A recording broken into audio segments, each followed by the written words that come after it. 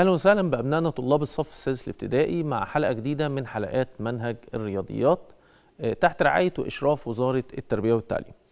آه، حلقتنا النهارده حلقة مميزة جدا لأن هنتكلم على موضوع جديد بعد ما خلصنا النسبة وتعريف النسبة وخواص النسبة وبتستخدم في إيه واستخدمنا النسبة بين ثلاث أعداد وخدنا أمثلة حياتية كتير هنتكلم النهارده عن مفهوم جديد هو متعلق بالنسبة ولكن أجمل شوية.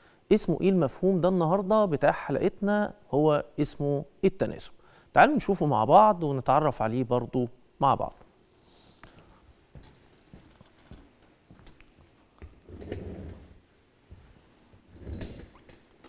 آه تعالوا مع بعض كده عشان نفهم معنى التناسب.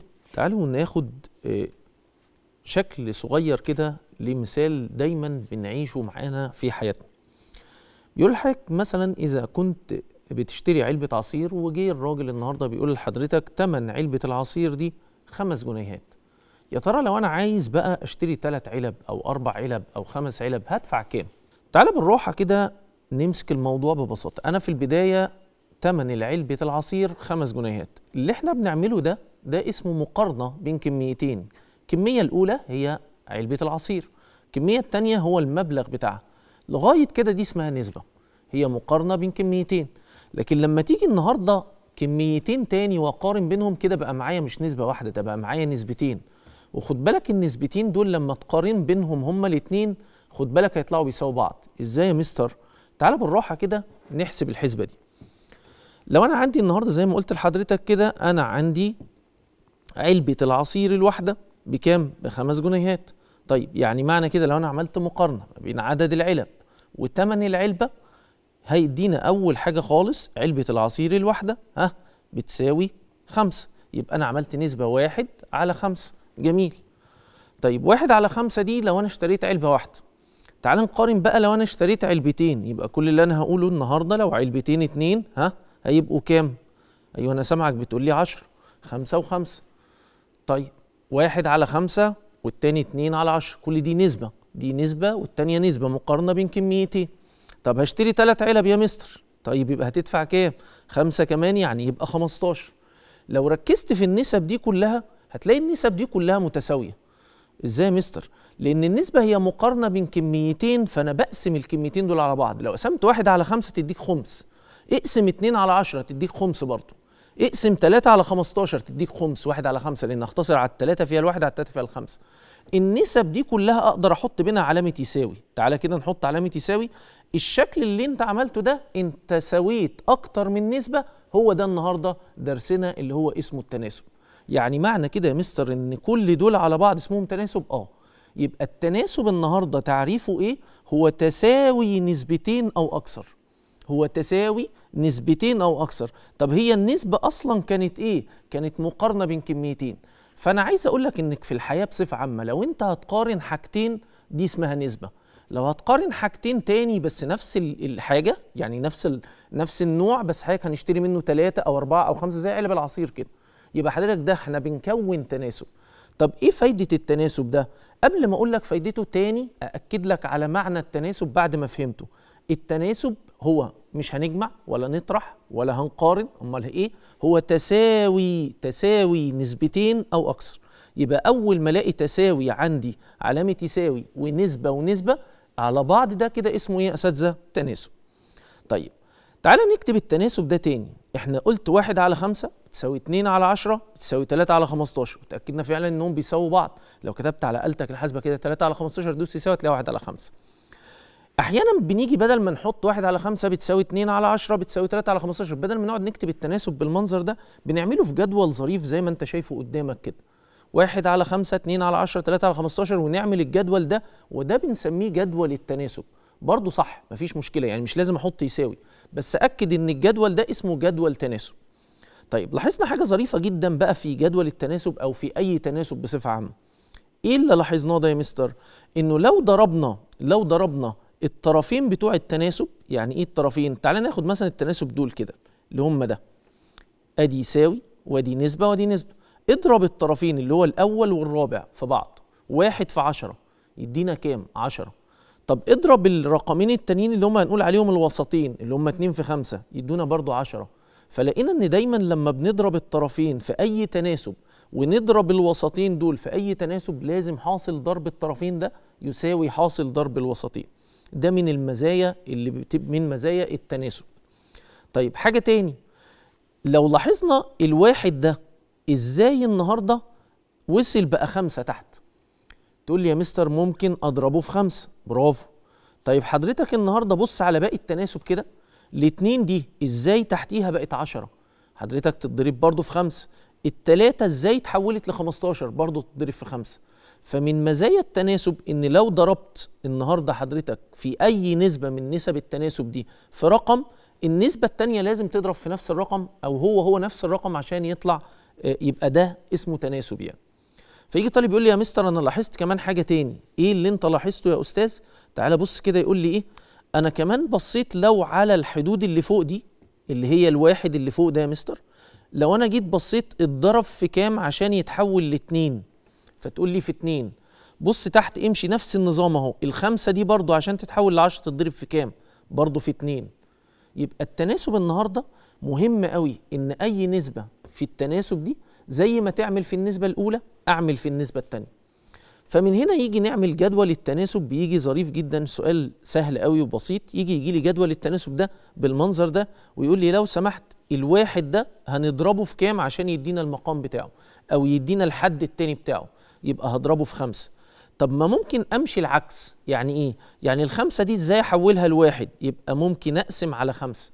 في أي تناسب بقى أي تناسب بصفة عامة زي ما اضرب فوق في البسط في خمسة لو عايز تمشي بالاتجاه العكسي بنقسم. طب يا مستر أنا أعرف منين إمتى بضرب وإمتى أقسم؟ خد الرقم الصغير خد الرقم الصغير يعني الرقم الصغير هنا الواحد ولا الخمسة في النسبة دي؟ الواحد.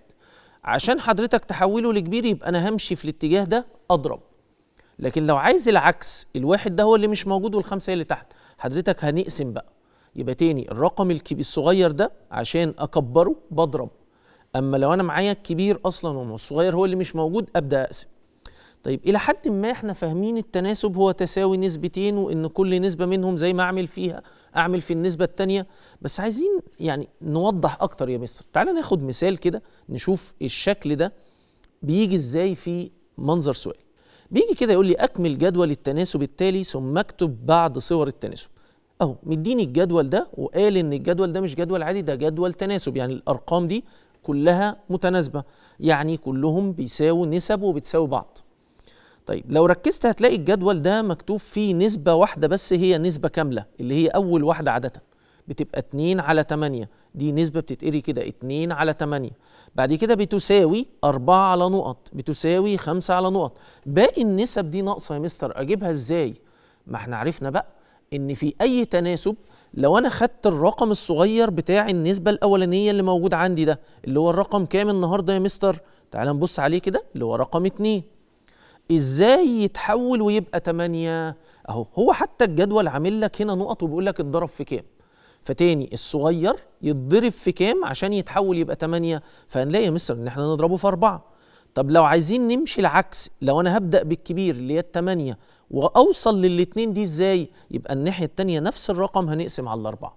بعد ما عرفت الرقم اللي يتضرب في النسبة في الحد الأول بتاع النسبة عشان يدينا الحد اللي تحتيه اعمل بقى كده في كل النسب. طب ليه؟ ما هو كل النسب دي بتساوي نفس النسبة اللي هي بتساوي 2 على 8 لأن التناسب تعريفه هو تساوي نسبتين.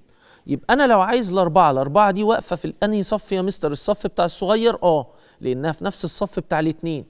يبقى أنا همشي بيها النهارده أضربها ولا أقسمها يا مستر؟ لا هضربها عشان أجيب الحد اللي تحتيها اللي هو الكبير. يبقى أربعة تتضرب في أربعة يبقى دي تحتيها أكيد 16 الخمسة برضو النهاردة في الصف بتاع الصغيرين يبقى تتضرب في أربعة تدينا 20 طب ال 40 لا ال 40 دي مش في الصف اللي فوق اللي هو بتاع الصغير يا مستر ده في الحد التاني اللي تحت. طب الحد التاني ده في النسبة كان الكبير ولا الصغير؟ لا الكبير. يبقى اوعى تضربها. بص هنمشي مع اتجاه السهم كده يبقى هنقسم على أربعة. 40 على أربعة يبقى 10 خلاص بقت سهلة. 24 ها تتضرب ولا تتقسم؟ لا تتقسم يا مستر. يبقى 24 على 4 تدي 6 طب ده في علامة عشرية ولا يهمك. أهم حاجة تبقى عارف بس إحنا هنضرب ولا نقسم. نضرب إمتى؟ لو الرقم ده في الصف بتاع النسب فوق الجزء الإيه؟ الصغير. يبقى واحد واتنين من عشرة هنمشي مع الاتجاه اليمين كده يتضرب في أربعة فيدينا النهاردة أربعة وتمانية من عشرة. كملنا جدول التناسب؟ آه. يبقى إحنا كده جبنا الجزء الأول.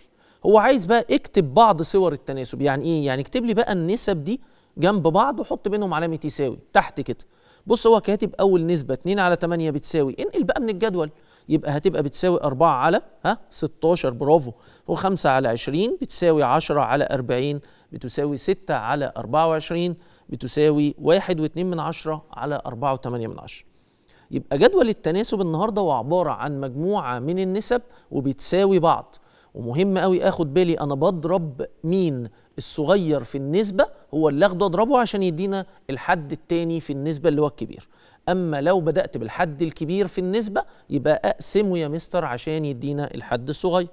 طيب تعالى ناخد مثال كمان جدول تاني ونأكد على حضرتك إذا كنت فهمت ولا لسه في جزئية كده بتلخبط فيها. تعالى نشوف المثال ده مع بعض. برضو أكمل جدول التناسب. فيجي طالب يقول لي بس إيه ده دول يا مستر؟ بدل ما كانوا كده تحت بعض على دول بقوا جنب بعض. ما أنت عارف إن النسبة في البداية لما عرفناها وقلنا هي مقارنة بين كلمتين أو أكثر قلنا إنها بتتكتب بصورتين يا إما على يا إما إلى. فلو هي على هيجي لك الجدول بالمنظر السؤال اللي فات. أما لو إلى هتتكتب كده فحضرتك النهارده دي بتقرأ النسبة الأولى 8 إلى 20 8 إلى 20 أو في الجدول في اللي فات كانت رقم على رقم يبقى يا إما على يا إما إلى. طيب أحلها إزاي؟ أيوه أنا سامعك بتقول لي بص ابدأ بالصغير. مين الصغير هنا في النسبة دي؟ 8 إلى 20 الثمانية يبقى الثمانية دي تتضرب في كام عشان تدينا 20 لو بدأت بالصغير شوف اتضربت في كام عشان تكبر وتبقى 20 لكن لو بدأت بالكبير يبقى اتقسمت على كام عشان تبقى 8 فتعالى كده ندور 8 ها اتضربت في كام؟ عشان تبقى 20 طب يا مستر 8 في كام ب 20 ده مفيش في جدول الضرب حاجة تدينا 8 في كام ب مفيش يا مستر. مفيش فعلا بس مفيش رقم صحيح لكن في كسر. طب أعمل إيه عشان أجيبه؟ تخيل إن الرقم ده كده س وارجع كده كنت في سنة خمسة خدت حاجة اسمها المعادلات. المعادلة كنا بنقول أي رقم أنت مش مش عارف قيمته بكام سميه س ولو أنت عايز تعرف قيمته شيل الأرقام اللي جنبيه دي وديها الناحية التانية. كنا بنقولها كده لو أنت عايز تعرف قيمة السين شيل اللي جنبيها وديها الناحية التانية. يبقى التمانية دي وديها بدل ما هي مضروبة هنا في السين وديها الناحية التانية تبقى مقسوم. يبقى الرقم اللي اتضرب فيه التمانية عشان يدي عشرين هو عشرين على التمانية. عشرين على تمانية. تعال نختصرها بقى لأن النسبة لازم تتحط في أبسط صورة. يبقى هنا يا مستر على الاتنين فيها الأربعة وعلى الاتنين فيها العشرة. وممكن نقسم تاني على الاتنين يبقى فيها الاتنين وهنا فيها الخمسة. لو في طالب شاطر شوية يقول لي يا مستر كنا قسمنا من الأربعة على الأربعة في البداية. صح برضو برافو عليك. فاديتنا كام في الآخر؟ خمسة على الاتنين. أول ما تاخد الرقم ده بقى اكتبه لي فوق وتحت. اكتبه لي فوق في الضرب والقسمة. يبقى إحنا كده مستر عرفنا ضربنا في كام أو هنقسم على كام. تاني خدنا الرقم الصغير وقلنا 8 تتضرب في كام عشان تدي 20 أنا مش عارف الرقم يبقى اعكس خليها 20 على 8 واقسمها يا إما بالآلة يا إما زي ما عملنا كده بالاختصار يطلع لك الناتج. يلا خلاص بعد ما عرفنا الرقم ده الموضوع بقى بسيط جدا يا مستر. وتعالى بقى نبدأ نضرب ونقسم على حسب ما ناخد الرقم إذا كان الرقم الصغير ولا الرقم الكبير. طيب يبقى 8 اتضربت في 5 على 2 اديتنا 20 طيب الستة بقى عايزين نعرف الحد اللي قصادها يطلع كام؟ الستة ده في الصف بتاع الصغيرين اهم يبقى تتضرب في 5 على 2 يبقى 6 في 5 ب 30 على 2 يبقى بقت 15 ال 15 برضه في 5 على الاتنين يبقى 15 في 5 دي 75 على الاتنين يبقى 37 ونص. طيب النهارده ال 30 لا ال 30 مش في الصف بتاع الإيه؟ الحدود الصغيرة ده في الصف الثاني الكبير. يبقى اوعى تضربها بقى أنا عايز الحد المقابل ليها. يبقى دي تتقسم يا مستر. تنزل من تحت كده وتتقسم على 5 على الاتنين. لما نقسم 30 على 5 على الاتنين بالآلة الحاسبة أو لو حضرتك برضو متذكر كويس يبقى 30 هنقلب العلى دي إلى فيه وتبقى 30 في 2 على 5 القسمة هي معكوس للإيه؟ للضرب.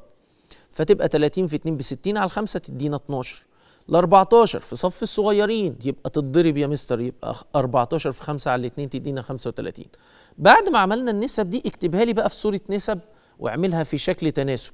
يلا هو كتب 8 لفوق وبعدين 20 8 على 20 يبقى بيقرأ كده. 8 إلى 20 خلاها 8 على 20 كمل بقى بسرعة يبقى 6 على 15 15 على 37 ونص 12 على 30 و14 على 35 طيب ناخد كمان مثال تاني. أكمل جدول التناسب. هنا بقى يا مستر آه، مديني كسور. ما تخافش ما يهمكش.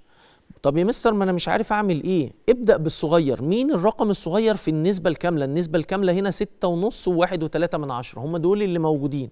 لكن النسبة اللي بعديها بص كده 15 الحد التاني اللي قصادها مش موجود. اللي بعديها برضو الحد اللي قصادها مش موجود. النسبة هنا مكتوبة بصورة إلى. طيب يبقى ناخد الصغير اللي هو واحد وتلاتة من عشرة ده يتضرب في كام؟ عشان يدينا ستة ونص. يتضرب في كام؟ أنا مش عارف مضروب في كام. يبقى حضرتك اعكسها. خليها ستة ونص على واحد وتلاتة من عشرة. يبقى حضرتك لما أجي أقسمها النهاردة هتدينا كام؟ خمسة. نقسم ستة وخمسة من عشرة على واحد وتلاتة من عشرة.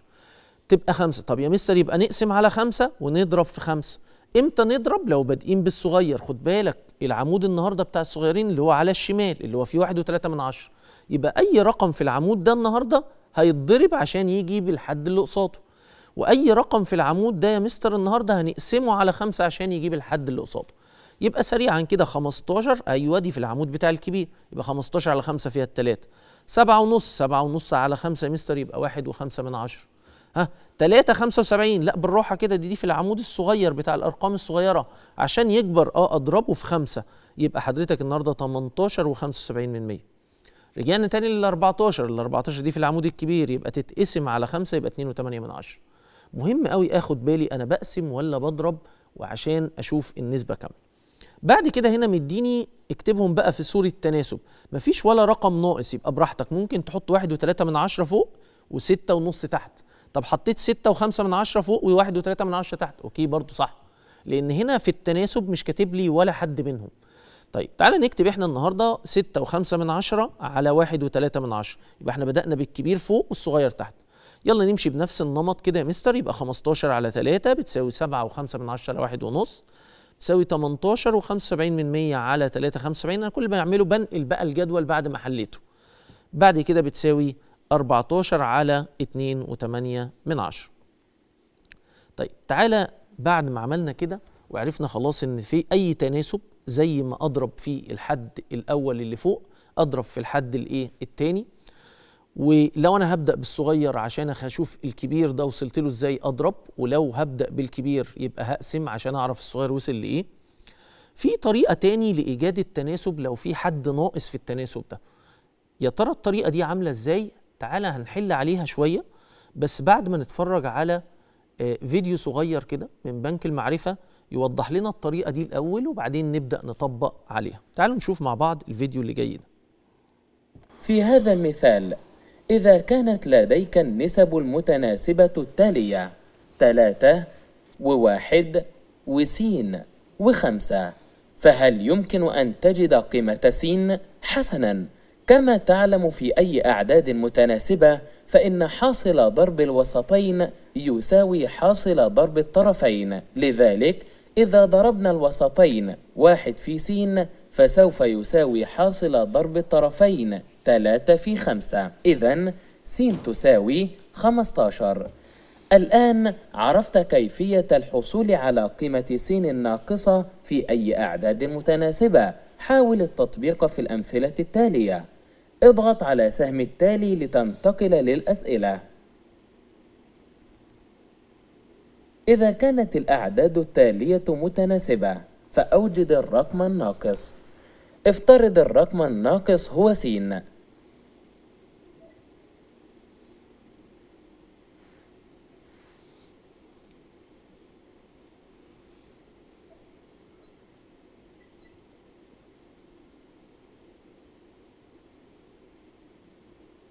إذا كانت الأرقام التالية متناسبة فأوجد العدد الناقص.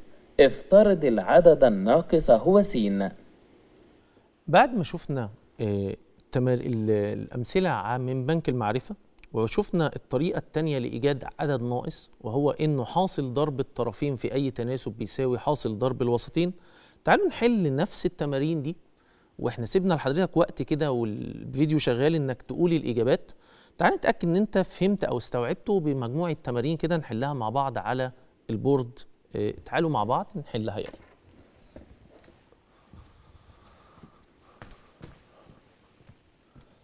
آه، تعالوا نشوف أول سؤال معانا. بيقول لي أكمل 4 على 5 بتساوي 32 على نقط. ده السؤال ده تناسب. عرفت منين نسبتين وبينهم علامة يساوي؟ وفي حد ناقص في التناسب يا مستر فاحنا بنحط مكان الحد ده س طيب أول واحد ده هو اللي مش موجود؟ لا أول واحد موجود أربعة وتاني واحد خمسة تالت واحد في التناسب 32 الرابع اللي مش موجود. باجي أقول بقى س دي اللي هو الحد الرابع اللي في التناسب بيساوي. ركز أنا معايا قلنا حاصل ضرب الطرفين لازم يساوي حاصل ضرب الوسطين. يعني أربعة أضربها في كام؟ تساوي بالظبط خمسة في 32 فأنا بعمل إيه؟ بكتب الرقم اللي ناقص ده س بتساوي والرقم اللي قصاد السين ده بننزله في المقام. واضرب الرقمين التانيين بتوع الوسطين دول في البسط يبقى 5 في 32 تاني الرقمين اللي قصاد بعض في المقص اللي هم 5 و32 دول بضربهم في البسط. والرقم اللي قصاد السين لأن أنا عايز السين دي لوحدها فبودي الأربعة دي مقسومة. تعال نعمل كده بقى على الأربعة فيها الواحد على الأربعة فيها الثمانية.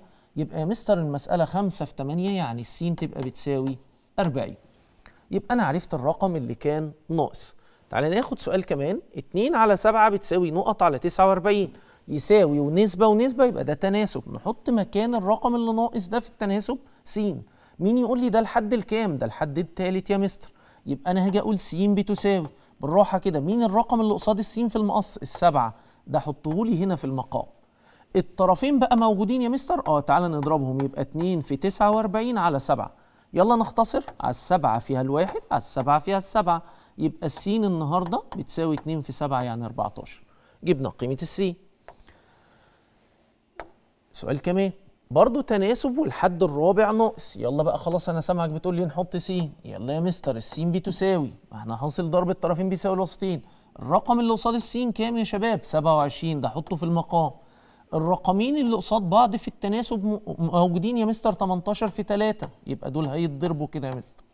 يلا نختصر. على التلاتة فيها الواحد على التلاتة فيها التسعة. تعالى نقسم. على التسعة فيها الواحد على التسعة فيها الاتنين. يبقى السين بتساوي كام يا مستر؟ اتنين.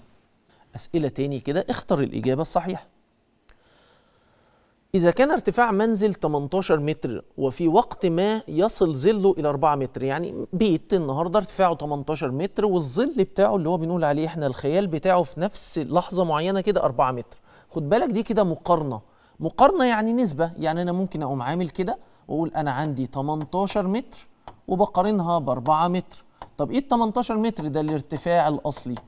طب إيه ال 4 متر ده اللي هو الظل بتاعه؟ يبقى أنا بعمل مقارنة ما بين الارتفاع والظل. الارتفاع الحقيقي وظل الحاجة. في نفس التوقيت هعمل مقارنة تاني بشجرة جنب المنزل في نفس اللحظة. في نفس اللحظة دي كان طول الشجرة دي كام بقى 3 متر. طب ده الطول الحقيقي يا مستر ولا الظل؟ لو قرينا كويس هتلاقي يقول لك فاذا كان ظل الشجرة في نفس اللحظة 3 متر. أقوم عامل نسبة تاني وأحط يساوي يبقى كده تناسب. يبقى ال 3 متر دي يا مستر احطها تحت هنا كده. وهو عايز بقى الارتفاع الأصلي أقوم حاطط هنا س يا سلام أنا عملت تناسب يا مستر. السين دي أنا سامعك بتقول لي يبقى هنضرب 18 في 3 والرقم اللي قصاد السين ده ينزل في المقام. يبقى 18 في 3 على 4 بآلتك الحاسبة أو بحسابات بسيطة جدا يطلع 13 و5 من 10 طيب تعالى ناخد مثال كمان. إذا كان 6 على س بتساوي 4 على 16 فإن س بتساوي إيه؟ أنا سامعك بتقول لي يا مستر يبقى اللي قصاد السين دي في المقام. وفوق 6 في 16 يبقى 6 في 16 على 4 6 في 16 على 4 يبقى الإجابة 24 ممتاز. إذا كان ألف على ب بتساوي ج على د ده مفيش أرقام يا مستر. ماشي. هو عايز إيه؟ بيقول لك ألف في د ألف في د مش دول الطرفين؟ آه. يبقى أكيد بيساوي حاصل ضرب الوسطين يعني بيساوي ب في ج يبقى الإجابة بتاعتنا هتبقى ب في ج اللي هي الإجابة رقم ج راكب دراجة يقطع 100 متر في 3 دقايق. آخر سؤال معانا النهاردة يقول راكب دراجة يقطع 100 متر في 3 دقايق. طيب دي مقارنة بين حاجتين يبقى دي نسبة لغاية دلوقتي. تعالى نكتب كده. 100 متر بيقطعهم في 3 دقائق. جميل. طيب عايزين إيه بقى؟ بيقول لك فهو يقطع نقط متر في 6 دقايق. دي إيه ده؟ دي نسبة تاني مقارنة تاني. يبقى حضرتك أعمل مقارنة تاني نسبة تاني. هو إيه اللي مش موجود فيها؟ المسافة. طب المسافة دي فوق أحط س طب والوقت اللي قطعوا فيه ست دقايق؟ يبقى هنا كده يا مستر أنا عملت نسبة ونسبة وعايز أعرف الرقم اللي ناقص أحط يساوي. بقى تناسب يبقى النسبة بحولها لتناسب لو حطيت نسبة تاني بتساويها. تعالى بقى نجيب س مين الرقم اللي قصاد السين؟ التلاتة. يبقى هنقول السين القيمة دي اللي انت عايزها. التلاتة هنا تحت ونضرب مية في ستة. على التلاتة فيها الواحد على التلاتة فيها الاتنين يبقى مية في اتنين بميتين. ممكن طالب بسرعة كان يقول لي التلاتة دي يا مستر النهاردة اتضربت في اتنين عشان تبقى ستة يبقى المية دي على طول تتضرب برضو في اتنين تدينا ميتين. عرفنا يا مستر النهارده من التناسب إن هو تساوي نسبتين أو أكثر. عرفنا إن أنا بجيب أي حد في التناسب ناقص عن طريق إن طريقتين.